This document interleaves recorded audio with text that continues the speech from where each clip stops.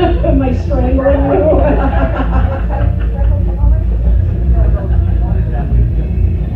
Oh, okay, are you, are you, I don't want to strangle you. I won't walk back, yes, I'll stay right here. So, um, talk less talk, that's right. Um, and uh, I am just uh, so excited to be here because I'll tell you,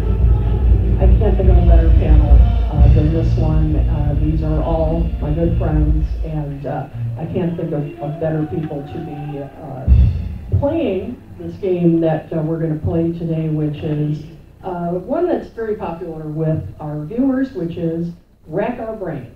And uh, this is a game that's not a trivia game, but uh, it's one where, uh, and many of our viewers know the rules, but in case you don't, these are questions that are for discussion. They're not trivia, but instead they're opinion.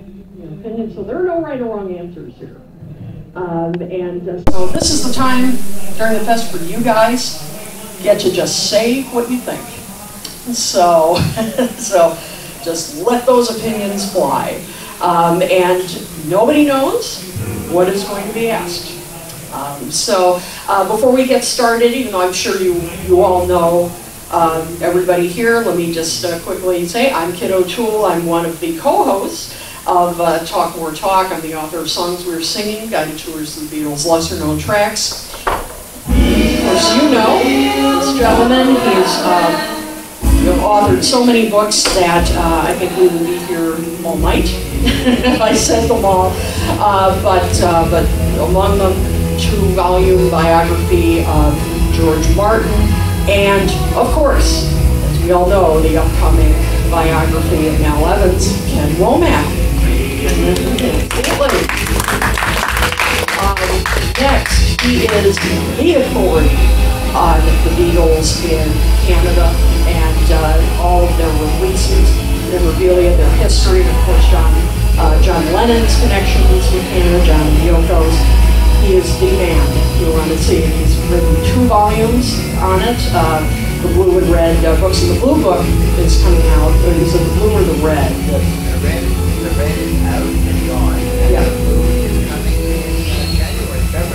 Excellent. Okay. Ladies and gentlemen, here's Hemmingsen. Next, another expert. If you want to know about the Beatles, North American tours, this is the guy you want to talk to. He wrote an incredible two-volume set uh, called Some Fun Tonight, and uh, I'm not going to the entire title. Take the whole podcast. Because it would take the whole podcast. No, but it's it's really it is the authority, and he has a memorabilia collection that he loans out to various museums. And in fact, the uh, collection is right here in uh, Illinois right now at Ravinia uh, Festival. Yeah, so uh, so if you live here and you are going to Ravinia, check it out. So um, just a pleasure to have him here, Chuck Gunderson. And last but definitely not least, um, he is uh, just, I mean, everybody knows him here at the fest. He's been here since the first fest, right? Yeah, and was there when Mark Lapidus even came up with the idea. And uh, he's the executive editor of the Fame magazine and the author of uh, Change of Times, 101 Days That Shaped a Generation. And uh, also, again, pleasure to have him here, Al Sussman. All right, so uh, let the games begin. Um, so, and I'll stop strangling Ken now. So let's. Uh, welcome more to the True Crime Podcast. that's right. That would be good. exactly. So I have some questions um, that my co-host sent, and also uh, what a couple that viewers sent, um, and I know you guys have some questions that uh, you said you have as well. So, all right, let's start with, and then we'll just pass the mic down here, and uh, we'll start with Ken Michaels. Um, ask some questions. What do you think is the most underrated solo Beatles album?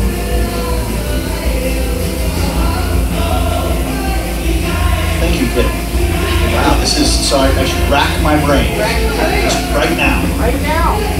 All right. The most underrated solo Beatles album. That is a tough call.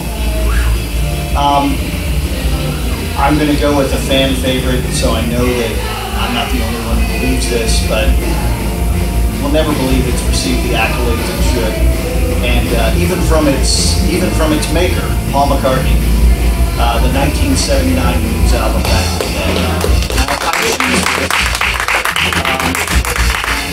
just my brains, I feel the tremors, and it's not just a polka band.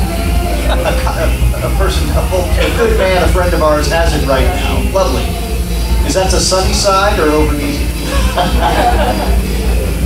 Lovely. Yeah, I, I remember getting that the day it came out uh, and listening to it on KL, KLOL and you, you know that station. They played it at midnight, a day early. They got in trouble. Um, but I, I remember loving it from the word go. Just liked it. And uh, the reason why I selected it is because um, because I believe we should have reasons, It's not just opinions.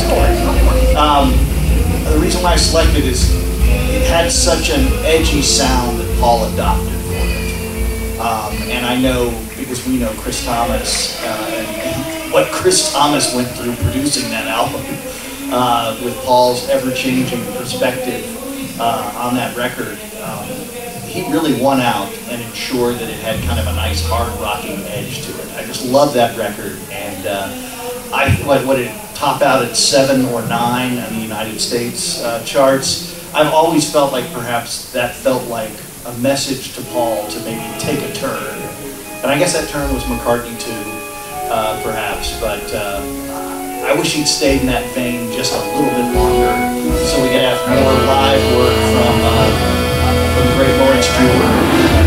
So there you go. The key word uh, was underrated.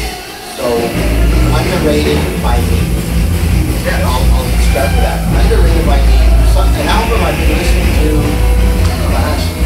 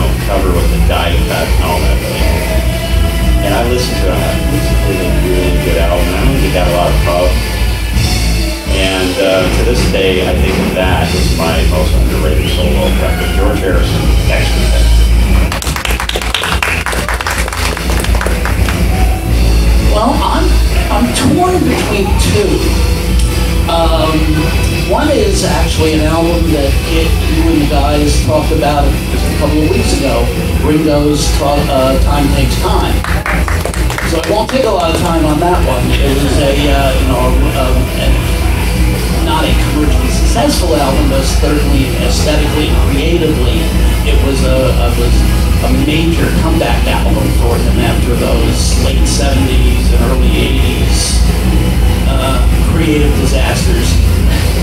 Uh, the other one, though, is George Harrison's Gone Troppo uh, from 1982, uh, which, um, and, and coming after Somewhere in England, an album that uh, I got in a lot of trouble for doing a very bad review on in Beatle Fan in, in, in 1981, was just like, it was like a, um, a, a, a breath of fresh air.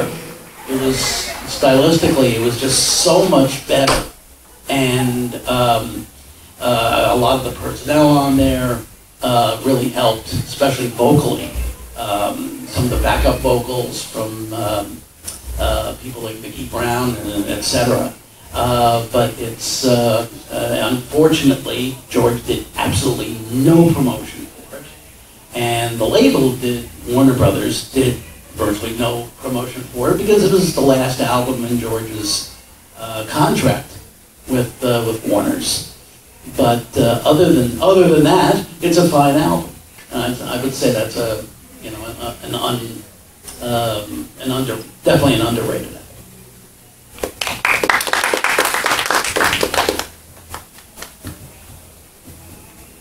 See, I told you this was going to be a great panel.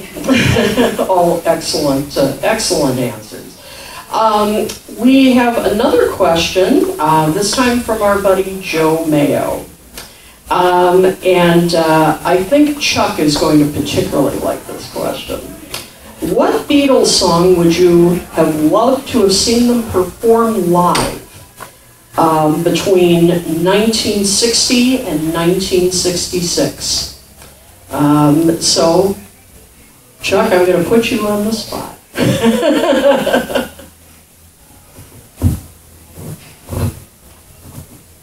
That is an incredibly hard question. First of all, I love the feedback speakers. I wish the Beatles had those. So easy, right? You can hear yourself and all that. Okay, the song I'd love for them to have in their set list. it's a tie. I can have a tie, right? Al did a tie. Okay, and they're really kind of really deep dive songs. I love to see them performed. Okay, first one, Hippy Hippy Shake. Second one, Clarabella. Not their songs, but I would have loved to see them on stage doing that. Oh, excellent. All right, anyone else should jump in? Oh, uh, oh, I thought this was for Chuck. Oh, no, it's for everybody. Oh, it's for everybody. You're on. Uh, actually, uh, for much the same reason, I would pick a shot of rhythm and blues. I'm a, I'm a, I'm a, I'm a BBC freak. In fact, uh, our, our friend Tom Frangione, the last, I guess, three weeks, has been playing a lot of the BBC material from the, the Pop Go the Beatles uh, summer series that he did for the BBC in the summer of '63, and I just love that stuff. And Shot of Rhythm and Blues, which was which was a really kind of like a, a, a beat group standard in Liverpool in those in the early '60s. And uh, yeah, I would have loved to have seen them do that in concert. Okay, that- you said 1960 to 60? 60 to 66. Um, well, um, I would probably pick something from Help, um, 1965. Maybe something that they couldn't really play to a noisy crowd, but uh, I would pick uh, probably uh, You've Got to Hide Your Love Away, or or uh, The Night Before. Those be two off, off the Canadian slash American album, not the British help. And I'm going to go to an easy one, um, but I, I think it would have a sentimental connection with folks, and that's uh, in my life. I think, you know, it, it's such a staple of weddings and so many other kinds of celebrations now. Uh, and to be able to play that would have, uh, would have made sense for its author uh, to have an opportunity uh, to give a shot with that one. So easy, but there it is. So this would be part of the acoustic part of the set, right? Eh, Sure, although it, you know, it worked fine with electric. They could bang that out. The solo would be lacking. They played yesterday live, so, you know. Yeah. Yep. For the record, I guess I'll uh, go with uh, some other guy. Yeah, some other guy. Yeah, Yeah, oh, I would love to hear that, and that just would have brought down the house. I just, you know, whenever I see the footage of them, you know, I put just that little bit doing, them doing it the camera, oh my gosh. Uh, okay, let's see. Um, okay, this is from a uh, viewer, um, of, uh, of ours and also one of my students in my Monmouth classes. Um, and uh, let's see, he brought, he submitted a bunch of them. I'm picking the one that, uh, that I think would uh, be the best for you guys. Um, okay, how about what is your favorite solo music video for each Beatle? Um, you know, just uh, you know any of them, um, and uh, and he specifically says do not include feature films. Wow. Yeah. So you don't have to pick for each one. You could pick, you know, one or two if that's if that's uh, more doable.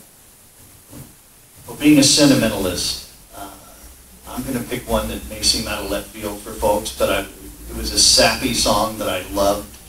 Uh, and I, I remember the, the beautiful soft focus video. It was so bad.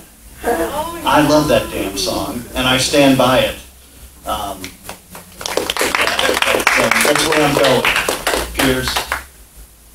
Um, is it- Was that, did I choose yours? No. No.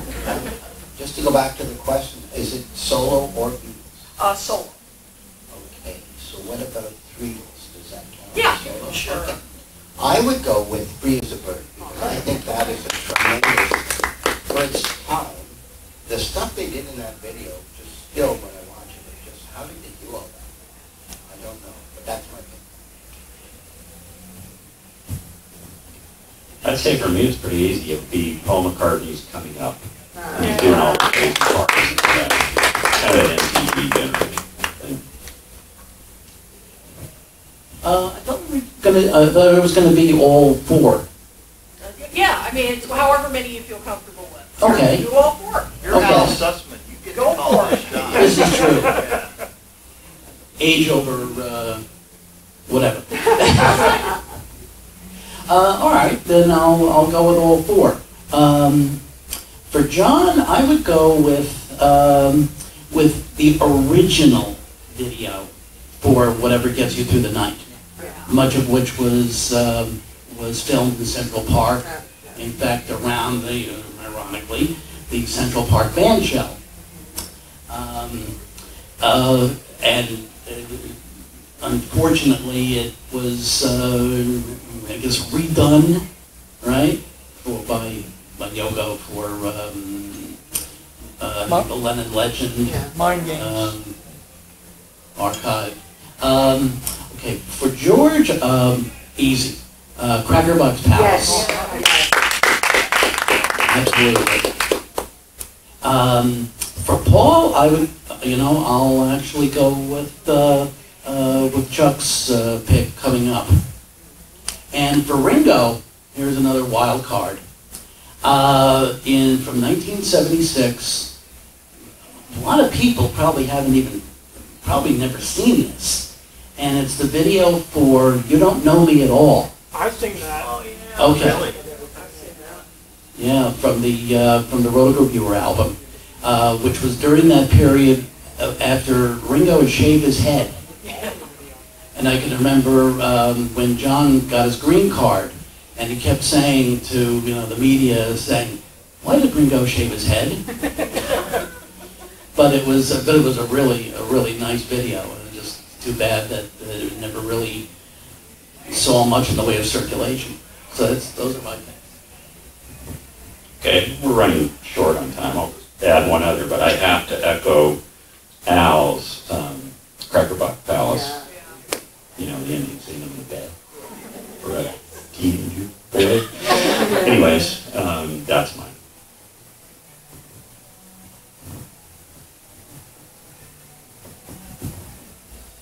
It's like choreography. Um, I'll, I'll add one in there. Um, I've always liked the uh, video for, um, uh, for Paul for press. I always thought that was fun. Yeah, um, with him on the, on the tube and interacting with people and it was just, you know, kind of a side of Paul. He, up until then, you didn't see much with him interacting with fans. Like, I always liked that. And, uh, and also George's four-way video because it's just so silly. you know, it was just fun seeing him. I mean, the, the bad, you know, bad effects that, I mean, for now particularly, but that kind of made it, you know, that was half the fun. Um, so I, I enjoyed those as well. Uh, here's another question from Ken Michaels. I think uh, uh, all of you will definitely have opinions on this. Which of the archival box sets of the Beatles has impressed you the most and why? Uh, uh, just Beatles. Just Beatles. So the archival box sets for me, hands down, is uh, the White Album. Um, it has, I learned more from the nooks and crannies of that one than any of the others. Uh, I think it needed the remixing more than any others. The, the Giles and his team, their ability to create separation in the tracks really opened up the instruments and I was able to hear tonality better, not in some cases actual instruments I hadn't really uh, spent time with. So it, without a doubt, it's, it's the White Album. Um, in terms of comedy, I have to pick Abbey Road, which has uh, the Abbey Road on the first page. It's really important to have editors. I mean, I've learned this in difficult ways over and over again, but the Beatles should not have a, the Abbey Road. So it's the White Album for me.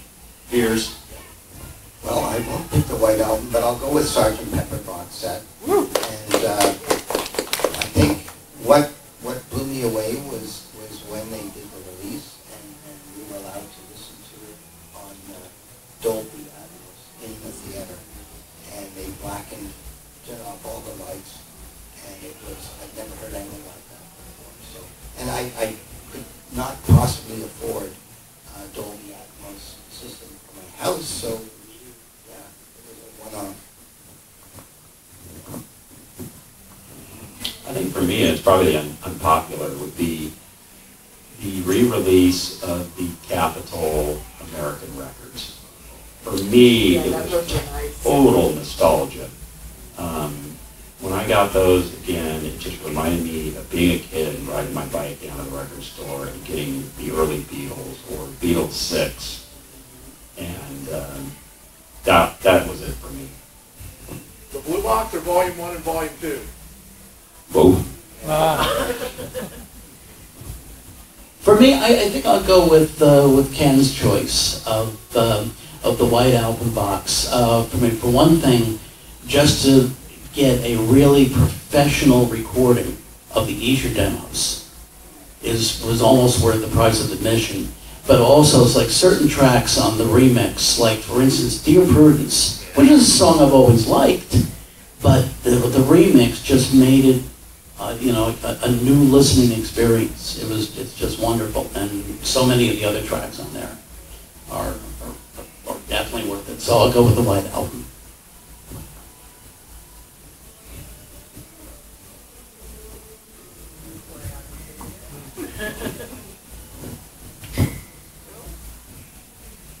All right.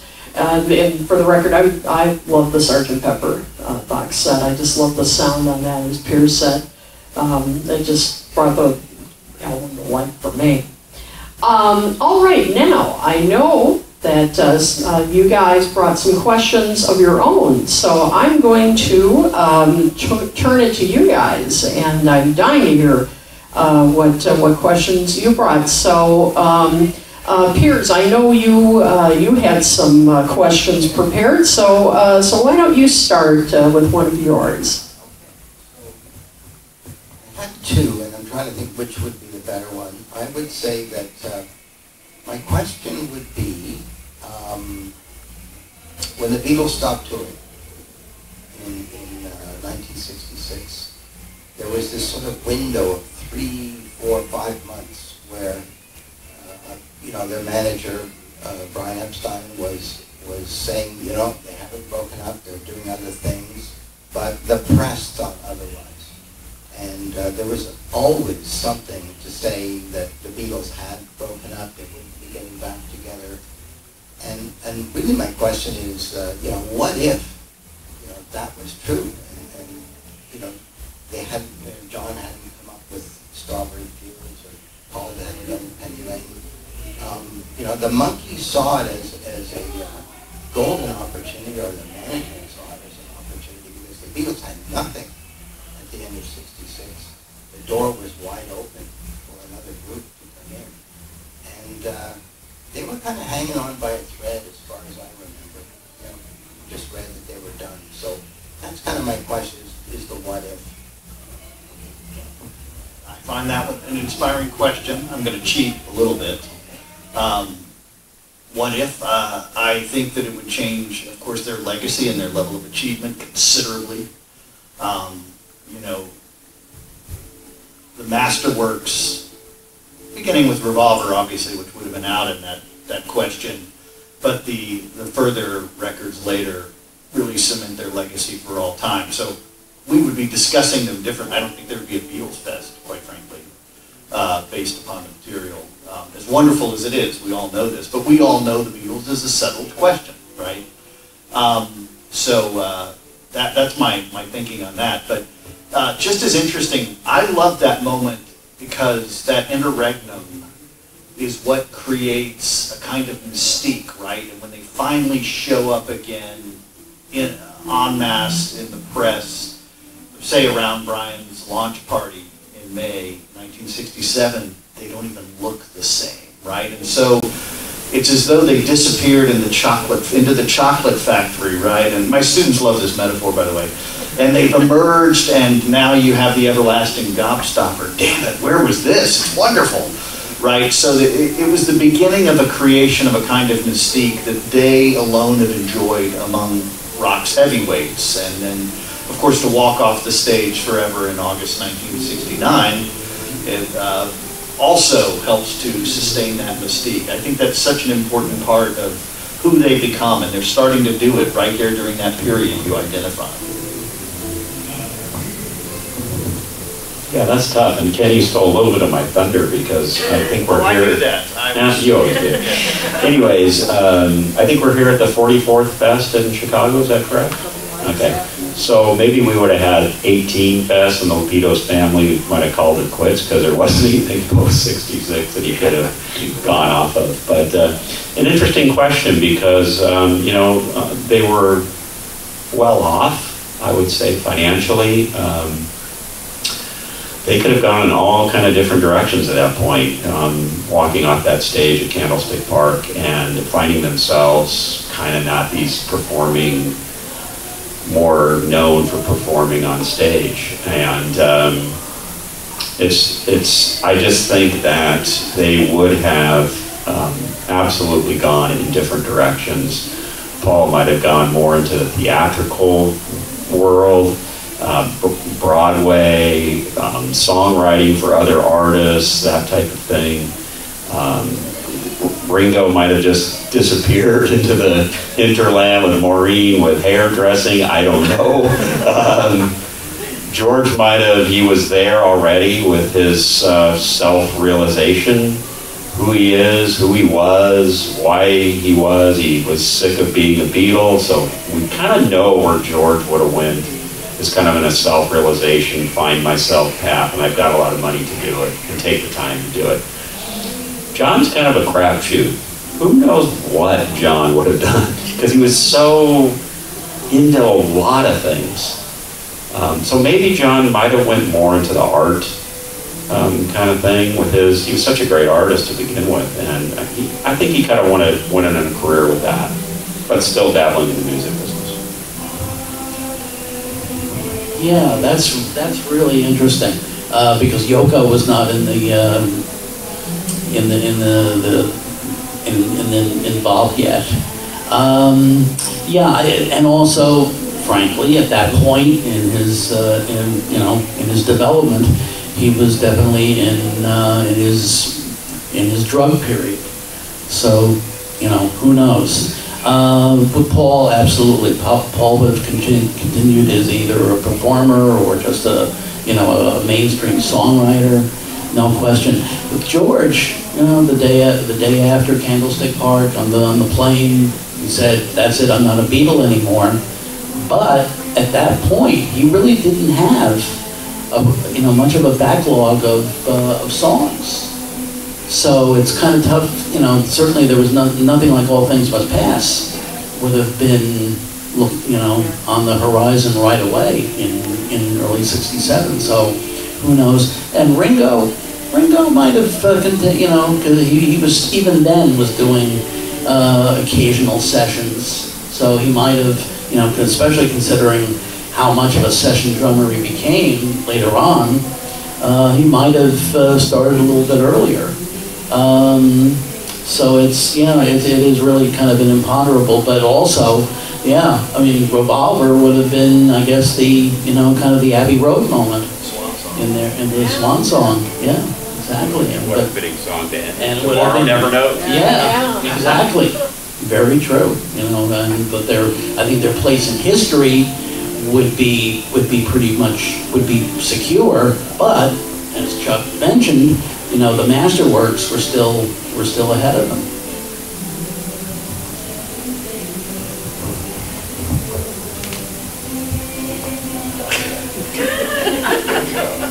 Nobody ties Chuck up. You know, I, I, it's such a great question. You know, without those masterworks, by the way, what does that do to the studio album era, right? The era of the great recording artists, Pink Floyd, you know, you can just go on and on. Suddenly, uh, suddenly we don't have that, that moment created, which is so very important to rock becoming a studio art and not dependent upon, uh, upon live performance. Uh, and I think our lives certainly wouldn't have been obviously as good because we'd be missing a very significant chunk of mu- music. But having said that, there is an argument that their lives would have been better. Uh, maybe in almost every case.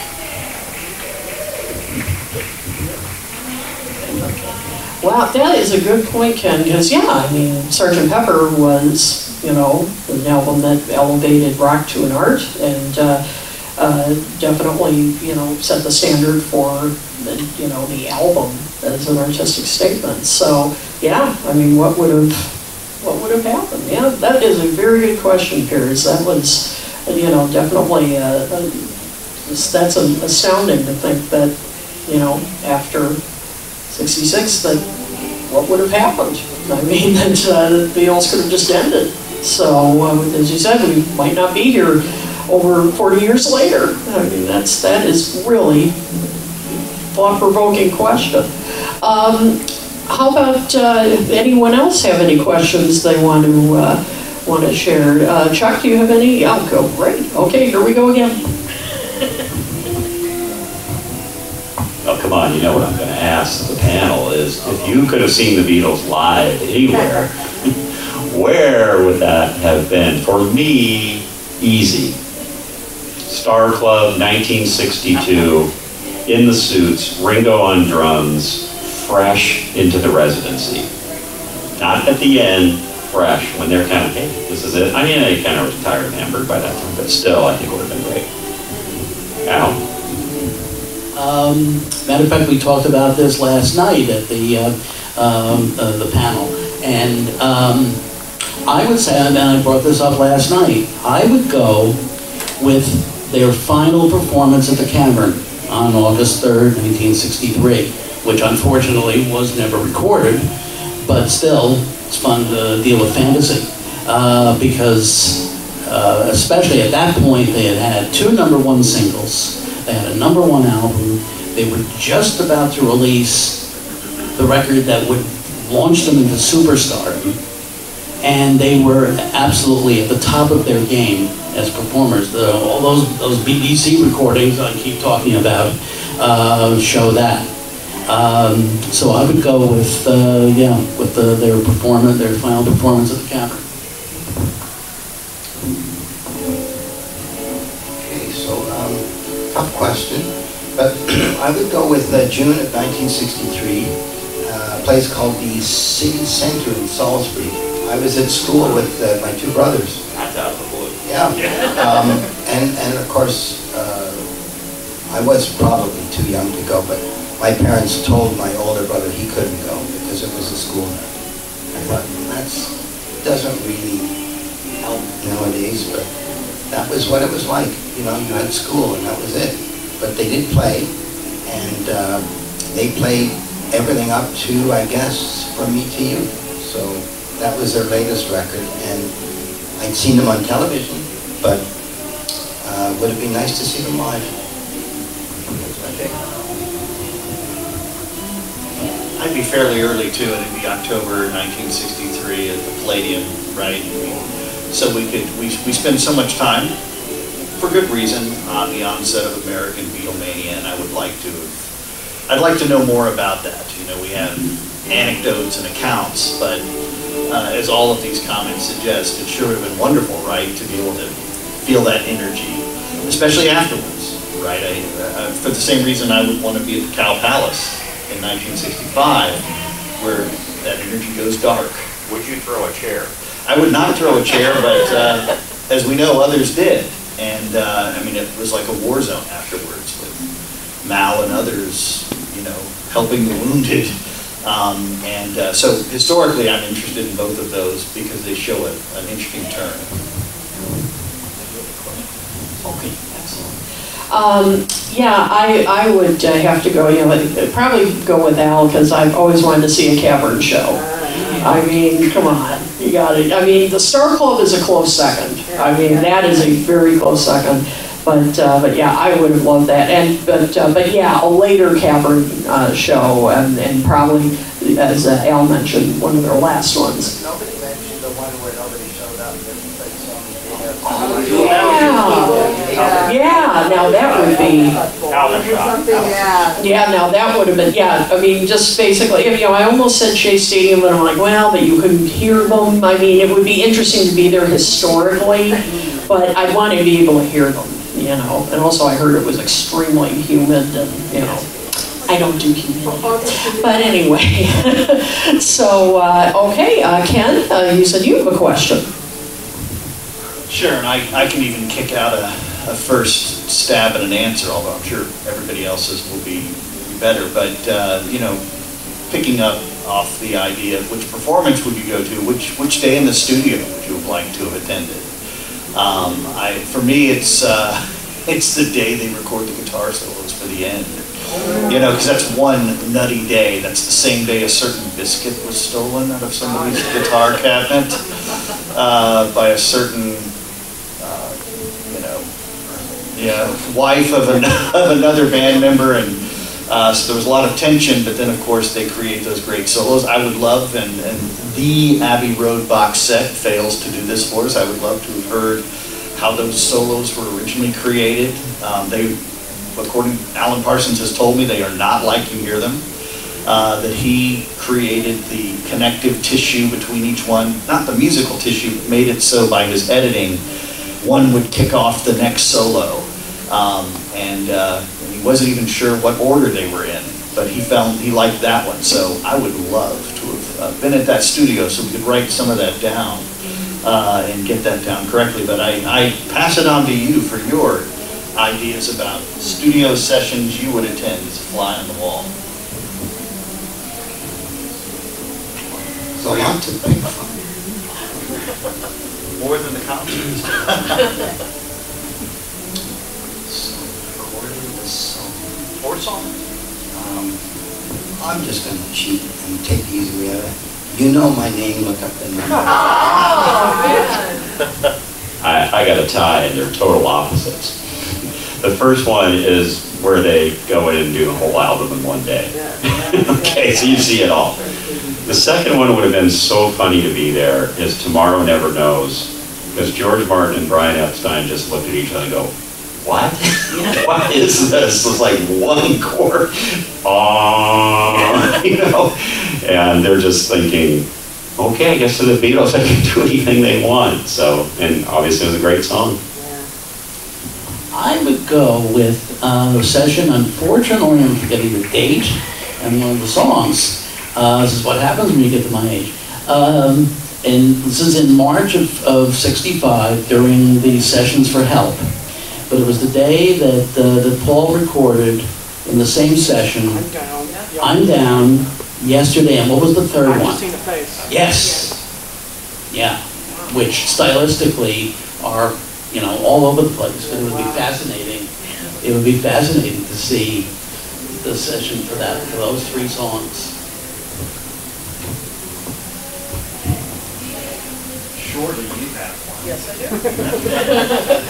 um, I would love to have been there for uh, Day in the Life when they uh, first were recording the orchestra and, and just being there for the, you know, the crazy atmosphere, the, the people who were there, the guests. And uh, would have been interesting even uh, to see them trying to figure out what to do at the end when they eventually, of course, decided on the ever long piano chord. But to be there to see them doing that, mm, yeah, and uh, deciding, no, this is really stupid. Um, but uh, but you know, just to be there for such a historic moment, I, I mean, that that would be uh, that would be pretty interesting. But I mean, there's so many. But yeah, the end guitar, you know, trio would be pretty uh, pretty cool to see too. That's a close second. Um, Can I say one more? oh, sure. How many of you would like to be at the Decca audition? Oh God, Yeah. Okay, walking with the nerves, the, you know, banter, the, them looking at them. Okay, yeah, all right. Um, that would have been a fly on the wall at the Decca auditions. What was the three words? Sugar plum fairy. Yeah, yeah. Uh, Decca is such a great choice because um, they're never going to get that deal. It was never going to happen. Yeah, yeah. Regional prejudice was never going to let that happen. Mike Smith was a gigantic liar saying, "Oh, you guys should record." That's not a com- that's not commitment. That's just like you guys should continue breathing oxygen. you know, um, what if that? Because of course they must have had exuberance uh, in, in so many ways. You know, Paul would later, I'm sorry, John would later downplay their performance. It didn't matter what they did. That's great. All right. Uh, Al, do you have, uh, have a question? Yeah, I do. Okay, here we go.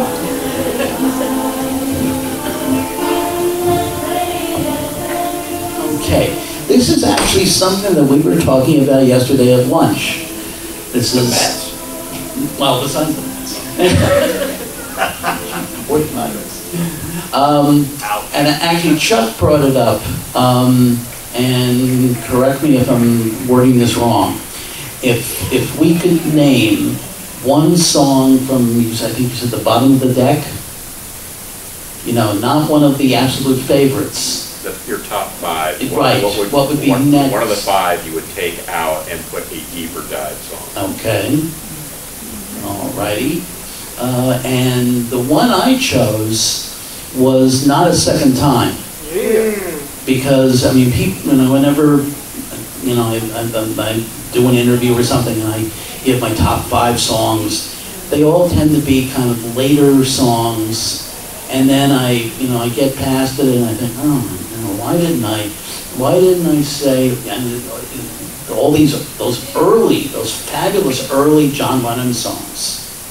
You know, uh, If I Fell, uh, Yes It Is, uh, and, and Not a Second Time. Yes. You know, the, the, the song that uh, uh, William Mann, right? The, um, uh, the Sunday Times uh, critic uh, raved about the Aeolian cadences, even though John was trying to write a song that sounded like Smokey Robinson. Uh, but it's a wonderful song, and if you've ever heard not only I mean, the, the Beatles recording alone, except for a few technical little problems, um, you know, John's vocal is just wonderful. There's also a, a later version by Robert Holland, which is wonderful. So I think that would be my, my choice. So as it goes in the Beatles world, I've already changed since lunchtime. I've got another one. I threw that one out. So I have my top five songs. And I'm going to throw one of those five and put a deeper dive song. And the one I'm putting in as I sit here now, almost 12 hours later, would be Leave My Kitten Alone. Oh, wow, okay, yeah. Okay, so are these songs that we, we think are lesser songs, is that? Well, I, I picked a couple of songs off the album Something New. I think Something New has some substandard Beatles stuff on it. Um, Tell Me Why, I don't, know. I don't, never thought that was such a great song. Maybe somebody would disagree with me, but it seems like it was written pretty quickly. Um, what are some of the other songs on Something New? I'm slow down. Okay, I'm not getting help from Ken. When I get home, there's another example. These are just, I mean, I remember having that album thinking, no, there's a couple of good songs. There's a German version of I Wanna Hold Your Hand. Anytime at all was fun. I know, Yeah, yeah. it's always great. But it's not a record I go back to. Anyway, that's my,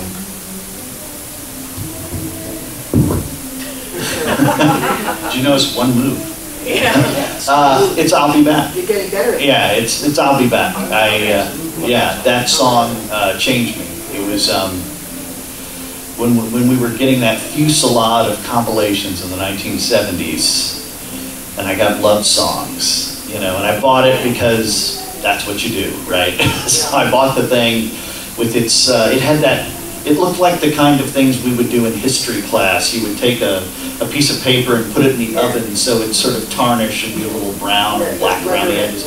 And that's, and it looked like that kind of design, and I, I just thought, what am I doing? I'm just spending my allowance on this again, right? I'm just, I'm in the machine already.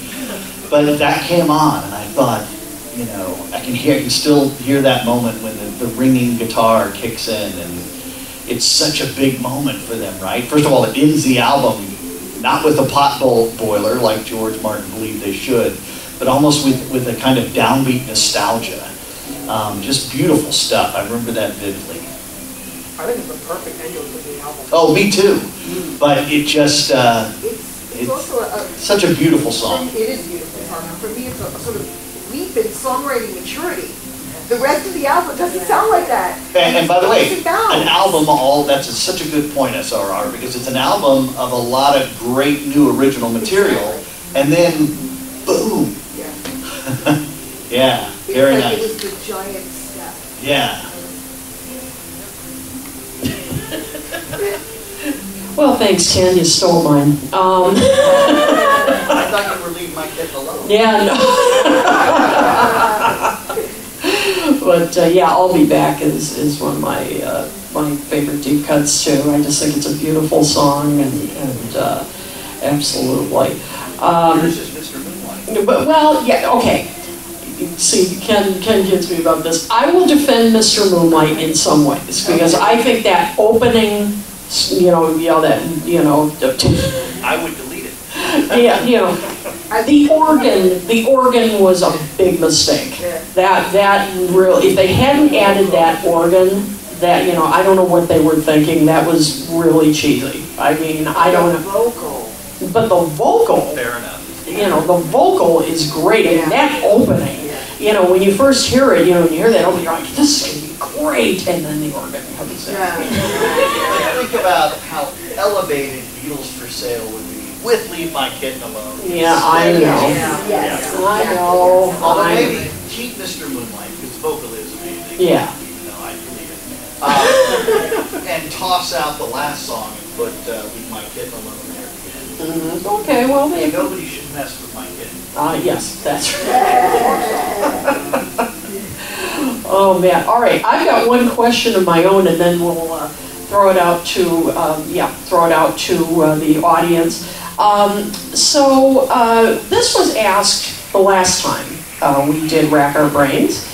And, uh, thought I'd uh, borrow this and, and, because I haven't asked you guys. What do you think is the biggest mistake that the Beatles made in, in their careers? Uh, I I mean, as a, as a group, what do you think in their story was the biggest mistake um, that they made? I need a minute. Wow. Start Not getting the right songs on something new. that's a big one. Um, My, my take on it is that uh, they, they, uh, they did tour, you know, they chucked, you know, 64, 65, 66. But their biggest mistake was that they didn't really refresh their set list. You know, They kept doing, up and until 66 Twist and Shout, and, uh, you know, I didn't get to go to any of those shows, it probably didn't matter, but, you know, when they try and do paperback writer, if I needed someone, uh, they mix it up with, with stuff that's kind of old, and I just felt that their biggest mistake was that they, they, I didn't just seem dated or tired or what, but uh, fans who'd seen them in 64, or 65, by 66 it's like, well, we saw this last year. So it was, you know, maybe it just didn't seem fresh. That's my, uh, I don't think they made really any mistakes. It's one of those things that just did really well. But if I had to say one mistake, they quit touring a couple of years. Then they follow Elvis's lead and they do a comeback special in the black leathers. Ooh! I'll just leave it at that. That would have worked. Definitely. Um, gonna cheat a little bit because actually, um, we had a discussion, the same discussion on things we said today back when I was, uh, when I was involved there. Uh, and I think it probably is the biggest mistake I think they made was thinking that they could go on as business people in the wake of Brian Epstein's death. If they had brought somebody in, not Allen Klein, but there were other people who probably could have done a, you know, a better job, a more, certainly a more honest job of guiding them business-wise than, um, than, than Klein. But even, you know, for the, the couple of years between Brian's death and when Klein came in, they were, you know, they were trying to basically lead themselves and with the formation of Apple and everything, and it just, um, it just didn't work. So I think that's probably their biggest mistake.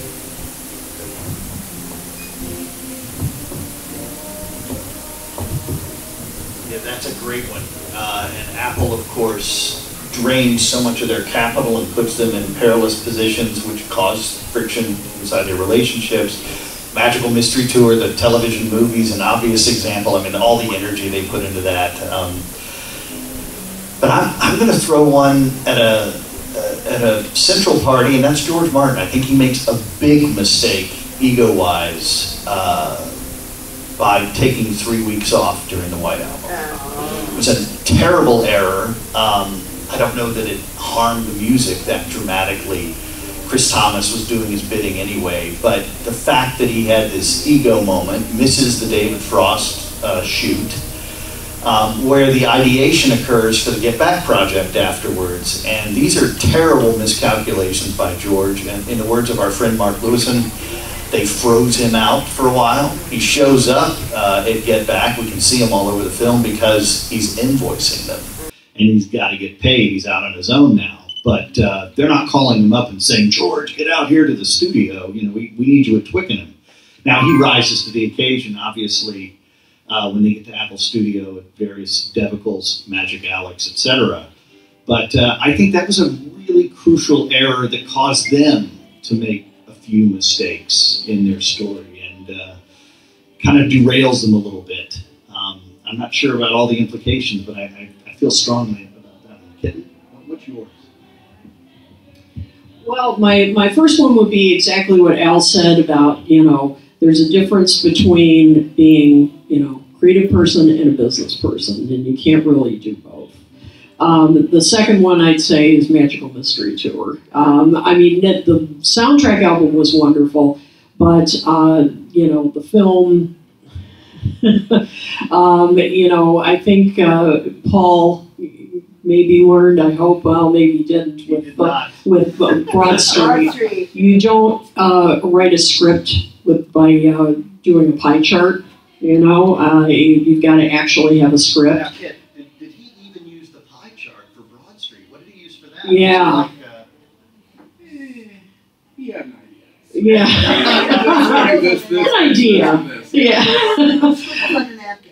yeah, because that was that was ill conceived, and you know, now if they had done maybe one with just the, the music videos, I mean, the music videos were okay. trying to tell the story. but wow, the rest of it not so good. So um, we have time for like maybe like one one or two questions. So uh, yeah, If you could see the Beatles at a venue they never played or wasn't around then, where would it be? I was just thinking, the field of dreams in Iowa. Oh, wow. That'd be interesting. Wow, okay. Yeah, that's a, that's a great, uh, yeah, that's a great venue. I, I would have liked to have seen them, I guess, picking up on what Chuck was saying, you know, at Madison Square Garden when it Yeah, opened, yeah, you know, yeah. all the soot and grotesquerie aside, you know, to have big time, uh, state of the art sound opportunities and to be able to perform their songs, all of their songs with, with some kind of aplomb would have been, would have been interesting. Okay, I'm from Canada, so I'm going to go with Montreal, uh, Expo 67. And they, they were, the Beatles were asked to, to play at Expo 67. Of course, they didn't. But other groups did. So the Grateful Dead, uh, Jefferson Airplane, Supremes, all the big names, but the Beatles Jarry Park. Yeah. So I would, I would pick Expo 67 and uh, the Summer of Love. I guess we heard a little bit about it in the Get Back film, but uh, something about the QE2. Uh, how about them being the house band on the QE2 for a week and you're sailing across the Atlantic? Dance hall songs. Yes. They got to play it all, though. Yeah, dance offs at night, you know, going back to cavern sets. Yes. The Apple Jacks. Stonehenge. Stonehenge would be built, pyramids of Giza. Yeah.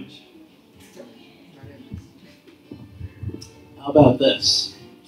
The Stones played Madison Square Garden in late November, around Thanksgiving of 1969, on their, their first tour uh, in America since early 67. How about if the Beatles had said, you know what, we can top that? I mean, they've been following us for five years. We can top that and say, on New Year's Eve, 1969, the Beatles had appeared at Madison Square Garden maybe taking Chuck's cue in, in black leather.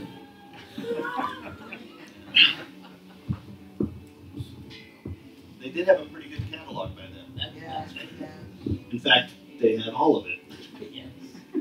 Okay, we'll take one more question and then we're gonna have to end it. So Tony? Um, so the Beatles' Past Masters was a compilation of non-album singles and B-sides, and Paul McCartney, as a solo artist, has had so many great singles and B-sides. Do you think he should release, release a compilation of all the singles and B-sides, because so many people don't know his great B-sides? I would buy it. I would love to see it. I, I love that. Uh, the I Lie Around, right? All those. From every decade. Every, yeah, those are just such great songs, and some of them deserve just as much mention as their A side. I'm all over that, but like I Lie Around, The Mess, all of those great tunes, you bet. Maybe not Rudolph the Red-Nosed Brigade. I would, I would pass on that one, but uh, otherwise, I'm right in. Okay, so is your question just the B-sides? I mean, B-sides said both, like the past master. A I'm compilation. all for yeah, absolutely. And why, why hasn't it been done? I know, right? Are you working for Paul right now and you're trying to like suss, yeah, suss this out? Yeah, I totally do it. Absolutely. Yeah, I, I believe he owns uh, all of his own masters. And uh, if you remember, getting back to Allen Klein and the Stones, um, I guess it was in the early 90s, uh, ABKCO released a complete Rolling Stones singles collection um, of all of their A sides and B sides from the years for, for which Klein controlled the masters, so all the 60s and, and very early 70s. So basically, now, unfortunately, since it's you know, we're dealing with 52 years worth of material, it would be a pretty large set. But yeah, a set of you know the complete the complete Paul McCartney A sides and B sides. Yeah, maybe with a more original title. Right. Well, thank you very much for this wonderful panel. These are some great, great questions. Um, thank you so much.